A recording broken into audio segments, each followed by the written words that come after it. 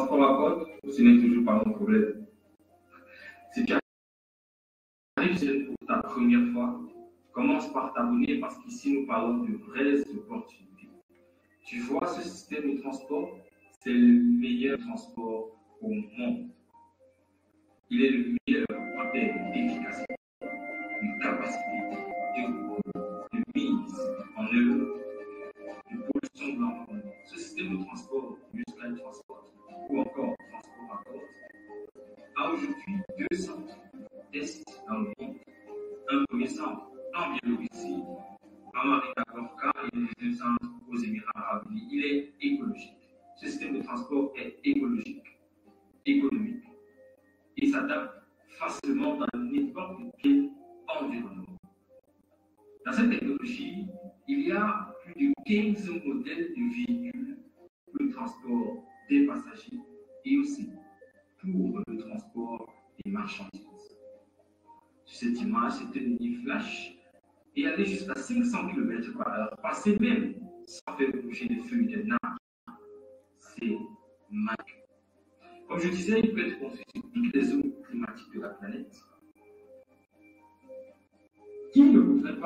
d'un système de transport pareil qui peut permettre d'économiser jusqu'à 10 fois moins d'argent pour le construire que pour construire tous les autres systèmes de transport conventionnels Alors, qu'est-ce que tu as une fois de plus, je reviens te parler de ce transport parce que tu as encore la possibilité de devenir propriétaire de cette technologie.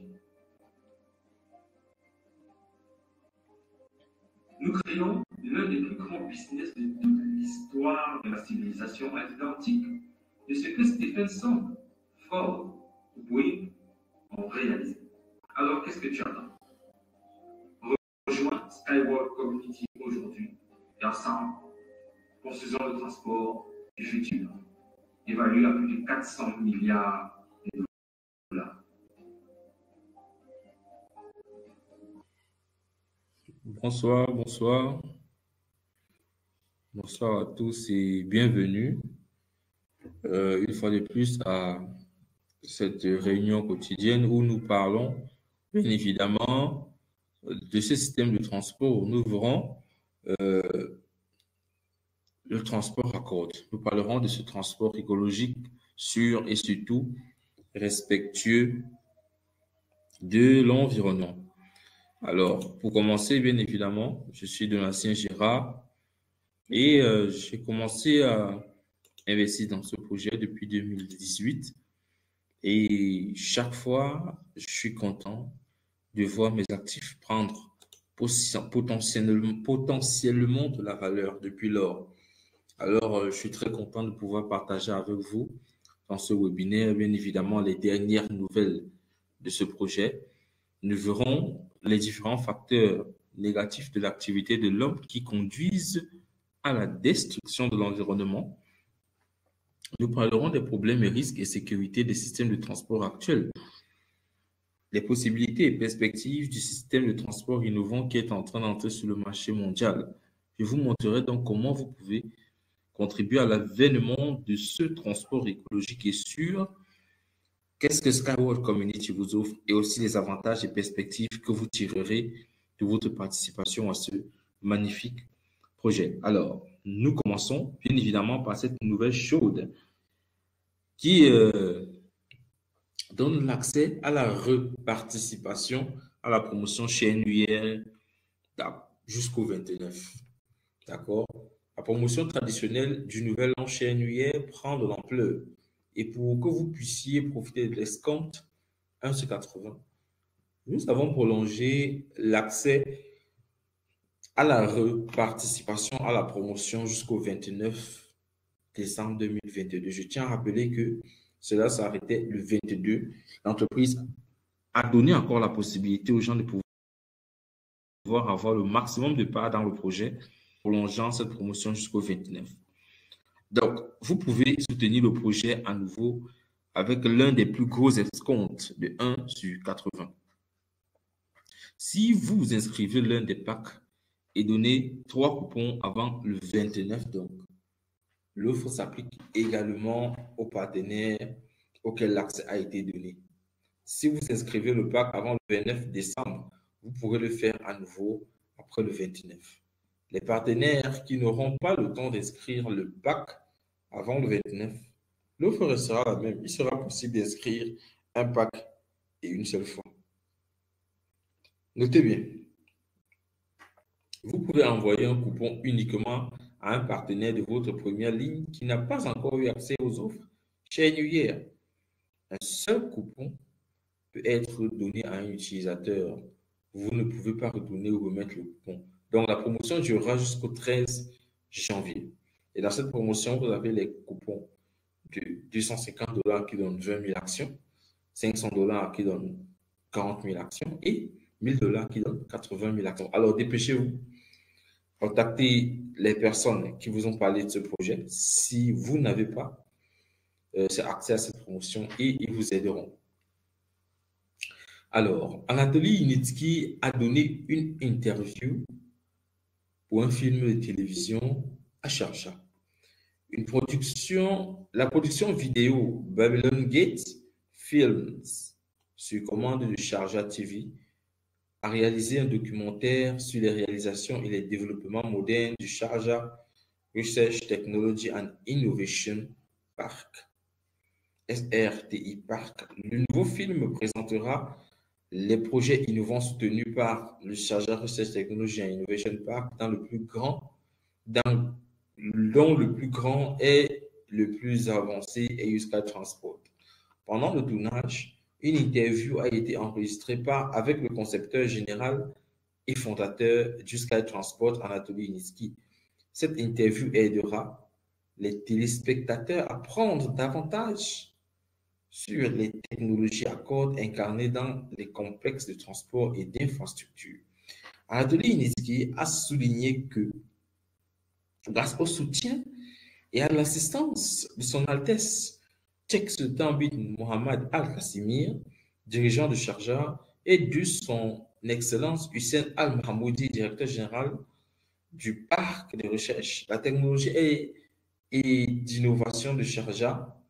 Sharjah ne se limite pas aux pistes de USky, aux pistes de test, non, mais aux plateformes technologiques innovantes pour lesquelles nous créons les complexes de transport et d'infrastructure de USky à Sharjah sont en exploitation active contrôlée. Le personnel de Usky Transport a la capacité de tester et d'effectuer l'optimisation industrielle expérimentale de tous les processus de base, de travailler sur les questions de maintenance des stations, les staccades de rails à cordes, du système de contrôle automatisé et communication d'ingénierie des bâtiments et d'autres éléments structurels. Unibus amélioré de 48 places a été envoyé à l'éco-technoparc.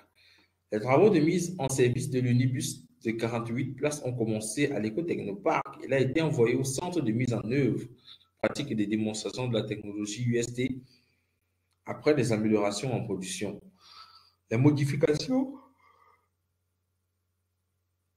les modifications ont affecté les modules passagers et de traction.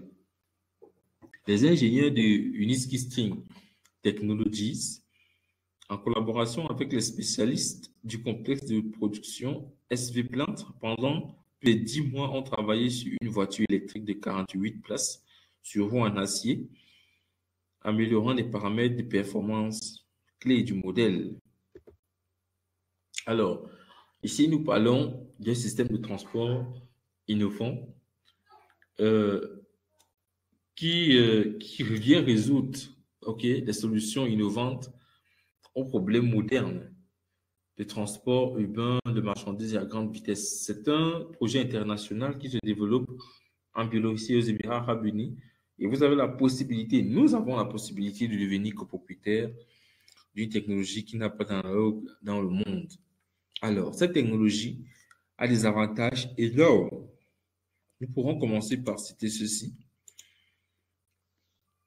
OK Il permet d'éviter les embouteillages, la pollution et peut être construit sur toutes les zones climatiques de la planète. Regardez, en 1914, l'usine de confesserie russe appelée Eniem produit des bonbons avec des inserts publicitaires publicitaire réalisé par un artiste de science-fiction. C'est ainsi qu'il a représenté le monde dans un avenir proche. En voilà une escatade ajourée avec un wagon suspendu. Alors, dans l'illustration suivante, on voit les voitures et les tramways qui entrent en collision. Les gens courent, essayant de ne pas tomber sous les roues. Dans le ciel, on aperçoit toujours le même tramway céleste. Ceci, cette situation que vous voyez vous êtes déjà familière et pas seulement sur les images, c'est notre monde, le transport de niveau 1 c'est-à-dire le transport qui se déplace directement à la surface de la Terre. Chaque année, un million et demi de personnes meurent dans des accidents de voiture. C'est bien plus que toutes les tragédies énumérées, que ce soit par train, navire, avion, actes terroristes, catastrophes naturelles ou blessures professionnelles, c'est bien plus que toutes les tragédies énumérées. Alors, les effondrements de transport affectent l'économie. Les ports surchargés n'ont pas le temps de traiter les marchandises et les navires sont obligés d'attendre chacun leur tour. Ainsi, nous désignons les deux premiers problèmes du transport moderne aujourd'hui, à savoir le trafic dense des routes ainsi que la mort des personnes causée par le manque de sécurité. En construisant des routes, l'homme a envahi la nature. Elle vit sa vie et essaye de résister à l'homme, tant bien que mal. Celui-ci reste persévérant, tellement insistant qu'il oublie même qu'il tue le monde dans lequel il vit. Le carburant que l'on utilise, c'est un poison pour la nature. Elle ne peut plus résister. Alors, le prochain problème majeur de notre époque, c'est la pollution de l'environnement. Le passage du transport moderne à l'électricité ne résoudra pas le problème de l'écologie, il faut le savoir. Le fait est qu'en branchant une voiture dans une prise de courant, nous nous connectons à des centrales électriques qui, elles, fonctionnent à partir des combustibles fossiles, qui, eux, polluent également l'environnement. Donc, l'un des moyens de sortir de cette situation est de créer des machines avec moins de consommation d'énergie. Alors, le quatrième défi, c'est celui de réduire la consommation d'énergie. Dans différentes années et de différentes manières, les gens ont essayé de monter à la surface de la Terre plus haut au deuxième niveau.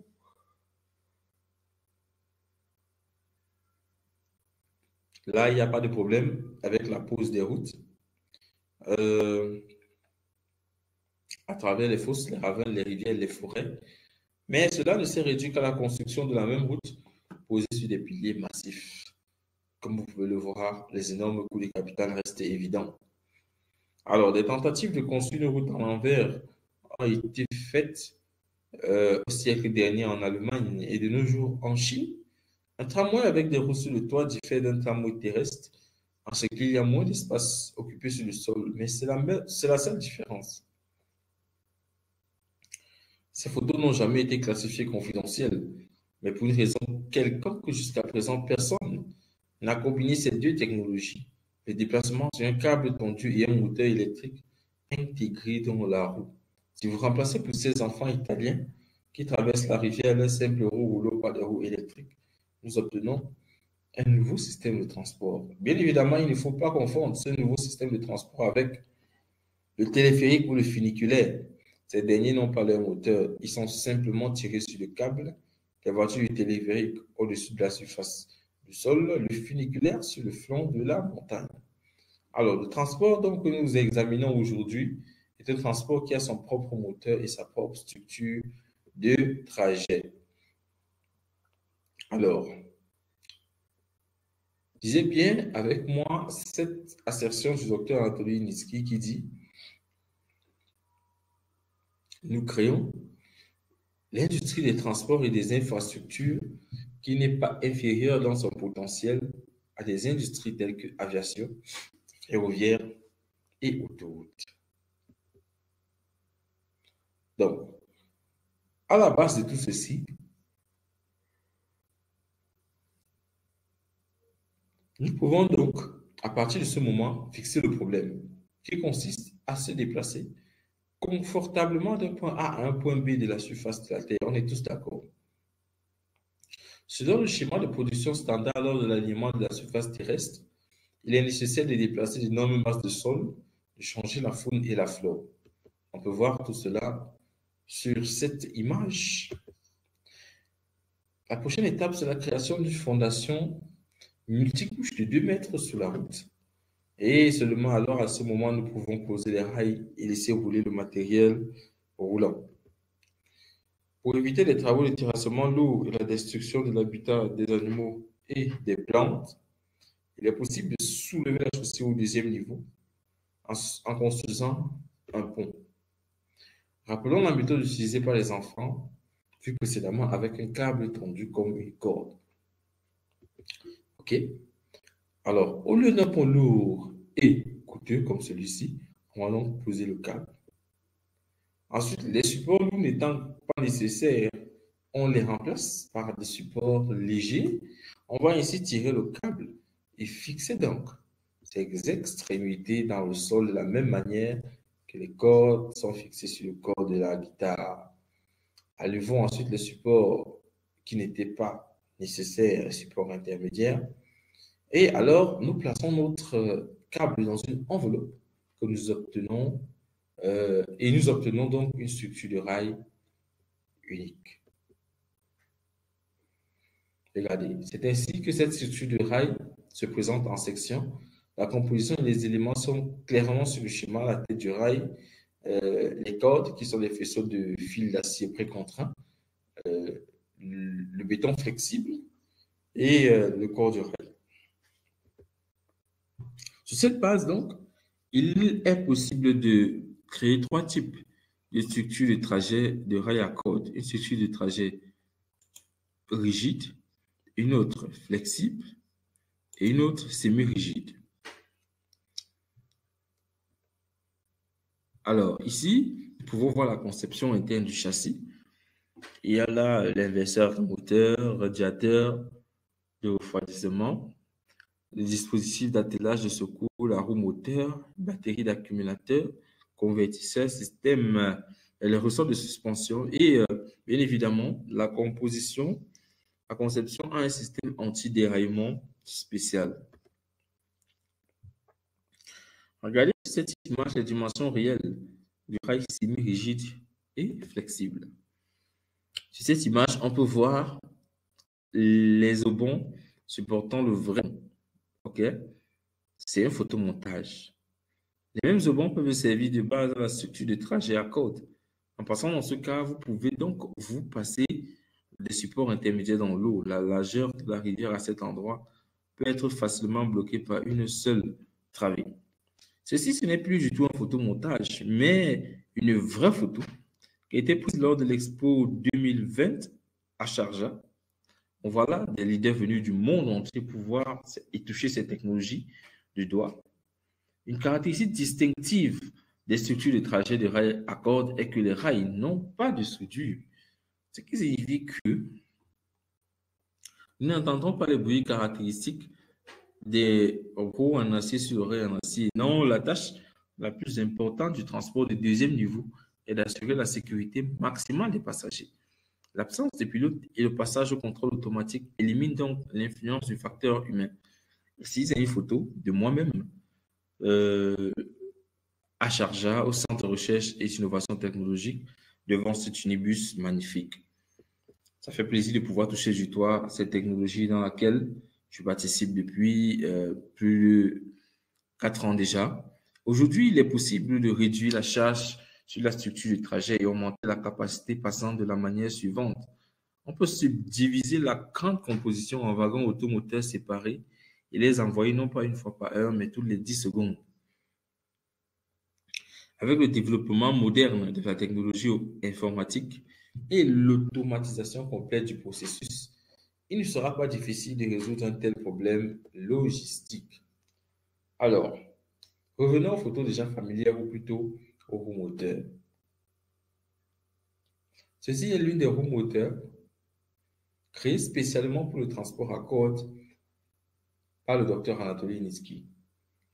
Les avantages de ces roues sont non seulement la simplicité, la compacité, mais aussi la puissance, également la consommation d'énergie réduite. Ceci est également facilité par la résistance minimale lors du roulement de la roue en acier sur rail en acier. Solution la plus importante pour réduire la consommation d'énergie du véhicule est de réduire sa résistance aérodynamique à l'air. Lorsque la vitesse du véhicule augmente, la consommation d'énergie augmente considérablement. Les courants de vent complexes autour du corps d'une machine qui roule sur le sol affectent grandement la consommation d'énergie de celle-ci. Regardez, sur le transport de second niveau, le flux d'air au-dessus du sol n'a pas d'effet. Donc, euh, la forme de la coque originale testée dans la soufflerie permet d'atteindre des performances uniques et inaccessibles. Voici l'appareil qui vient d'être présenté sur le schéma précédent en grandeur nature. Cette image montre les caractéristiques des deux véhicules ainsi que le recalcul de l'électricité et le poids du carburant liquide conditionnel. Maintenant, rappelons les problèmes liés au transport moderne que nous avons vus jusqu'ici. La surcharge de voies de transport, le manque de sécurité, la pollution de l'environnement, la forte consommation d'énergie. Alors, dans ce diagramme, vous pouvez voir les caractéristiques comparatives, comparatives des véhicules modernes. Le transport à corde que Uskai offre est peint en vert. Il a donc la solution la plus optimale. Alors, le graphique ci-contre montre clairement l'avantage du transport à corde par rapport aux autres systèmes de transport. Et voici une comparaison des types de déplacements terrestres les plus modernes, à la fois opérationnels et même projetés. Le transport à corde est clairement dix fois moins cher que toutes les autres technologies.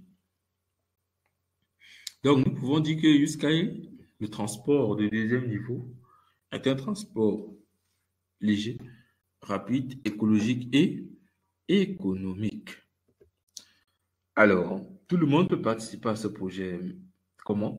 Contactez la personne qui vous a parlé de ce projet. Cette personne vous aidera à vous inscrire. Nous proposons des parts d'investissement pour tout budget à partir de 50 dollars. Aussi, un plan de versement pratique est mis sur pied, divisé le paiement du package d'investissement sur 5 mois. Aujourd'hui, il y a plus de 400 000 investisseurs dans le projet avec euh, plus dans plus de 200 pays y compris les hommes d'affaires, des enseignants, des ingénieurs et autres. Alors, en participant à ce projet aujourd'hui, qu'est-ce que vous gagnerez? D'accord. Premièrement, des dividendes. La mise en œuvre réussie du projet vous donne euh, garantie à des dividendes. Chaque année la part des projets, des bénéfices des projets de l'entreprise. Le rachat d'actions. La société peut décider le rachat d'actions. En octobre 2018, elle a fait où les 5000 premiers investisseurs ont eu la possibilité de revendre leur part à jusqu'à 10 fois le montant acheté, investi. Les actions que vous avez sont votre propriété. Vous pourrez les léguer à vos enfants, petits-enfants en héritage. Et aussi, l'entreprise peut décider plus tard d'entrer sur le marché boursier. Et vous, donc, pourrez revendre vos actions en ce moment sur ce marché-là. Donc, le tête du projet, c'est ce monsieur Anatoly Eduardovich Nitsky, à qui il a fallu plus de 40 ans de recherche, de calcul et d'expérience pour que sa création voit le monde. OK? C'est la technologie UST qui est optimale, efficace et sûre. Sa biographie, ses détails et ses développements peuvent être trouvés sur le site uniski.ingénieur. Alors, il y a aussi des matériaux pour ceux qui sont particulièrement curieux avec des calculs bien détaillés. Ici, nous avons les modèles de véhicules dans la technologie pour le transport des passagers et là pour le transport des marchandises. Le transport sur des rails à cordes se déplace au-dessus des routes et au-dessus de l'eau sans interférer avec les autres modes de transport. Il s'intègre facilement à n'importe quel environnement occupant un minimum d'espace à la surface de la Terre. Ni les montagnes, ni les forêts, ni les zones ne sont des obstacles pour le transport à côte. Il n'est pas nécessaire de niveler le terrain, de bloquer les voies de migration des animaux et de détruire la couche fertile du sol. Il a besoin de l'accès au sol le plus minimal qui soit.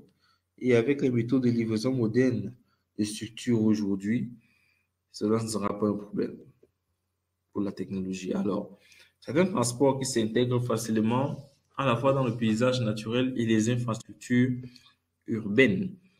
Au début de 2020, ce transport a été présenté à 18 grandes expositions internationales où il a toujours attiré énormément d'attention. Regardez ici. La délégation de l'autorité des routes et des transports de Dubaï a présenté le plan de développement des transports et des transports en commun et le modèle Unibike au Salon international de Trans 2022 à Berlin en septembre dernier. Nous vous rappelons que la préparation de l'offre d'appel RTA pour la construction de routes à, Dubaï est en cours et parmi les 30 participants, 5 offres ont été sélectionnées parmi lesquelles le transport à côte. Ici, c'est donc la technologie a une renommée mondiale. Pendant plus de 7 ans, elle a été présentée au public mondial dans le cadre de plus de 20 expositions internationales. Avant d'entrer sur le marché, tout véhicule, en particulier celui impliquant le transport des personnes, doit passer de nombreux tests d'essai. Les documents confirmant que le transport a passé les, tests peuvent être trouvés sur le site ingénieur. La technologie de transport à côte a obtenu plus de 83 brevets dans 18 pays des États-Unis à la Chine. Plusieurs certificats et récompenses également. Sur cette diapositive, il n'y a pas un dixième de documents que l'entreprise a. Vous pouvez tous les trouver sur le site web uniski.ingénieur et sans aucun doute, il est impossible à une seule personne de mener à bien un tel travail gigantesque. C'est pourquoi il a été créé à Minsk, en République de Biélorussie, la société Steel Technologies. Depuis 2019, la société emploie plus de 1000 professionnels hautement qualifiés. La structure est composée de 80 départements et bureaux d'études la propriété de bureaux et de production couvre une superficie de plus de 10 000 mètres carrés. Alors, aujourd'hui, Uniski Technologies est enregistré au registre des sociétés de bonne foi de Biélorussie. Dans sa propre production, il y a 11 machines complexes déjà fabriquées et conçues euh, pour le transport de marchandises et de passagers intérieurement et à grande vitesse et à hyper vitesse. Les investisseurs ont contribué à la construction d'un écotechnoparc non loin de la ville de Minsk, premièrement, en Biélorussie. Et euh, chaque année, à l'heure de l'EcoFest, plusieurs investisseurs s'y rassemblent pour voir de leurs propres yeux la réalité de tout ce qui s'y passe. Quelque chose de nouveau y est montré à chaque fois. Et en septembre 2018, on a commencé la construction d'un du centre d'innovation UST aux Émirats arabes unis dans l'émirat de Sharjah. Le centre d'innovation UST de Sharjah est un groupe de recherche et de production qui viendra à l'avant-poste du groupe UST lorsqu'il entrera sur le marché du Moyen-Orient et de l'Asie. Ce sont les photos prises donc sur le site de Sharjah que vous voyez là. Et le transport aux Émirats arabes unis sera donc ok, une preuve supplémentaire que ce transport peut fonctionner dans toutes les zones climatiques de la planète. Alors, il ne fait donc aucun doute que tout cela sera bientôt mis en œuvre et dans un avenir pas si lointain, il s'intégrera naturellement dans le paysage naturel et ne nous surprendra plus comme le fait le métro ou le tram aujourd'hui. Alors, nous pouvons donc dire en guise de résumé que ce transport à corde est un transport innovant qui se déplace au-dessus du sol à haute vitesse, sûr, efficace, facilement intégrable et écologique.